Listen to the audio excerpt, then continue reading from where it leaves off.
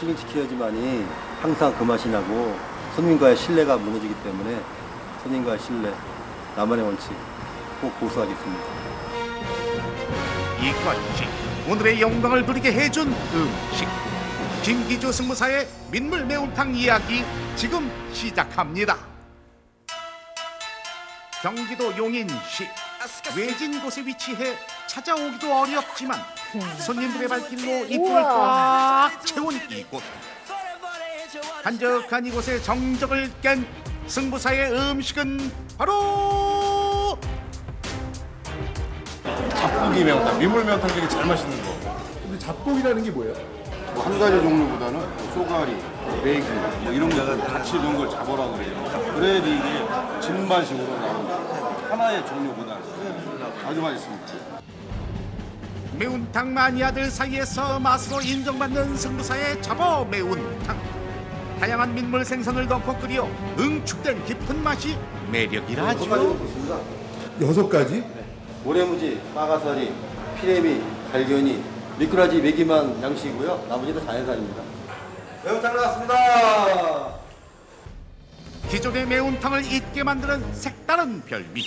향긋함으로 풍미를 더해주면 어릴 적 투박하게 끓여 먹었던 추억까지 소환하게 되는 맛이라는데 어렸을 때 이제 저는 전라도 진안이라는 곳에 살았는데 냇가에서 잡아먹던 그런 맛이 나오니까 최고. 여러 가지로 들어가니까 저 더 담백하고 골라 먹는 재미도 있고 또 뭐 미나리를 이렇게 넣어주니까 샤브샤브 너무 좋아요. 막 리필도 막 해줘요. 매운탕을 많이 먹어 다녔는데 오늘 여기 와서 피레미를 먹어보니까 자연산이라는 좀 맛은 괜찮습니다. 태평양을 누비는 바다 생선에 결코 뒤처지지 않을 민물 생선의 깊은 맛. 한 번 맛보는 순간 이 매력에 빠져 민물 매운탕 세계에 입문할 수밖에 없다는데요. 분열이 안 나고요. 담백하고 깔끔한 맛이에요. 저도 원래 민물고기 잘 안 먹는데 이 집에서만 먹어요. 비린내가 안 나서. 그 매운탕 자체에서 냄새 나는 걸 제일 걱정을 많이 했거든요. 근데 냄새라는 건 전혀 없어요. 그래서 정말 담백한 순수 매운탕의 맛이 그대로 나와서 너무 맛있습니다. 예. 민물 매운탕의 맛의 포인트. 제 매운탕의 포인트는 시원, 깔끔, 담백입니다. 자신 있습니다.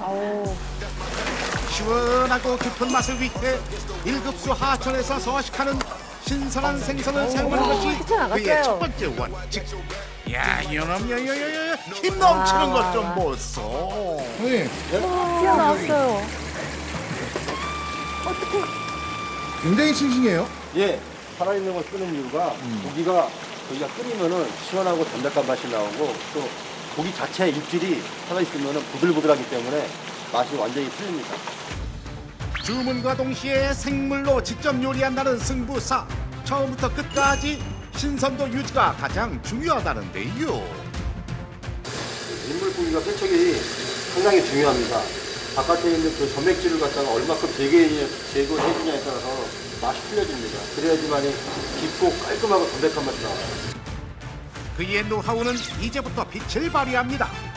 생선마다 거쳐야 하는 손질이 각기 다르다는데 그 첫 재료부터 과정을 궁금하게 만드는데 어디 있다는데? 이게 뭐예요? 호박잎입니다, 호박잎. 네? 호박잎. 호박잎? 네. 까실까실한 뒷면으로 그 표면에 있는 점생을 갖다가 닦아줘야지만이 깨끗하게